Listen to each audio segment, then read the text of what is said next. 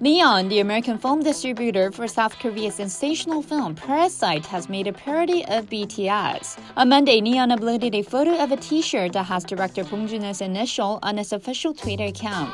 The design on the shirt resembled BTS's official logo, except that the two black trapezoids turned into camera films, and the initials have changed from BTS to BJH for Bong Joon-ho. Neon added on the caption, "While you're out clubbing, we made some shirts," which is a verse from BTS's hit track "Dope." After its official release in the US in last October, Parasite began to sweep awards in the American film markets. Recently, the film earned six Oscar nominations, including Best Picture, Best Directing, Best Original Screenplay, Best International Feature Film, Production Design, and Film Editing. It is the first time that a South Korean made film made it to the final nominees list of the Academy Awards. In addition, the Jessica jingle from the film also went viral online as t shirts and cups with lyrics of the songs were also sold as Parasite goods. The director of the film, Bong Joon-ho, also gained popularity by producing a new award, Bonghive. With BJH t-shirt released in a parody of BTS, director Bong's previous comment about the band made headline once again.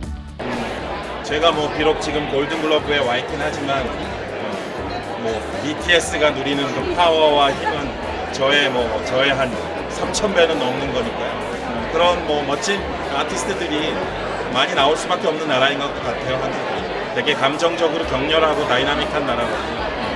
Maybe this is just the beginning for Parasite.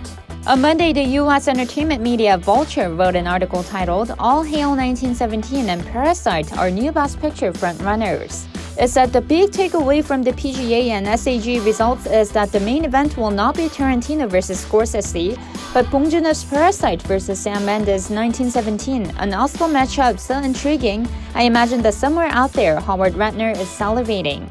Parasite was recently named the winner of the 26th Screen Actors Guild Award for Outstanding Performance by a Cast in a Motion Picture in the award ceremony. It was the SAG's first presentation of the Key Film Award to a foreign language movie in its 25 year history.